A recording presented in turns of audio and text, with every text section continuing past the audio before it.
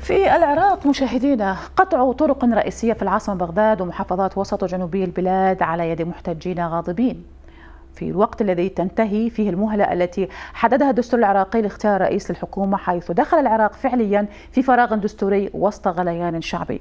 ولكن أخذكم إلى قصة حدثت جنوبا في العراق حيث حرك اغتيال الشاب العراقي علي العصمي وسط الناصرية بمحافظة ذي قار. مشاعر الناصريين ليعيشوا ليلة حزينة ليخرج الآلاف في ساحات مدينته. من بينهم والدته يهتفون باسمه وباسم المظاهرات العراقية ضد الحكومة.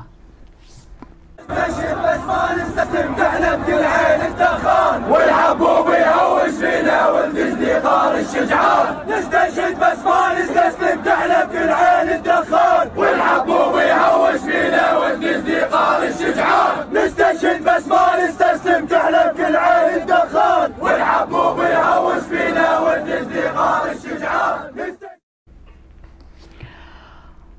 هناك مشاهدين أيضا فيديو آخر لوالدة علي العصمي المكلومة بابنها. هذه السيدة خرجت في توديعه لتردد نفس الشعارات التي كان ينادي بها ابنها في احتجاجاته. لاقى الفيديو المنتشر لها تفاعلا كبيرا من العراقيين على وسائل التواصل الاجتماعي الذين أبدوا تعاطفهم مع أمه وإعجابهم بإصرارها وسموها بطلة. بطل يا ابني. يما غدرك غدر الجبناء والله يما يما يما يموت واحد يموت مية. يما ما نقافل على القضية. هلا قضية العراق ما تنتهي. الله يعطيك الصبر حتى ما تنتهي يما.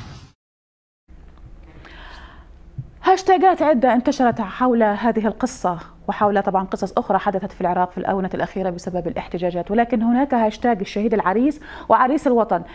كتب كتبت تغريدة وأعيد نشر فيديو لخطوبة علي العصمي الشاب الذي قتل.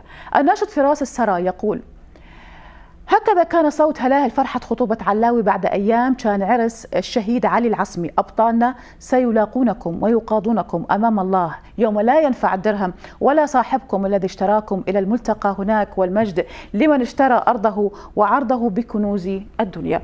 ونشر أو أعاد نشر فيديو يظهر علي العصمي في يوم خطوبته حيث كانت هذه اللقطات له من بيت خطيبته على ما يعتقد كان زفافه يعد له بعد أشهر. لكن أخاه الناشط سلام العصمي كتب في منشور قال فيه أن من قتلتموه كان أخي.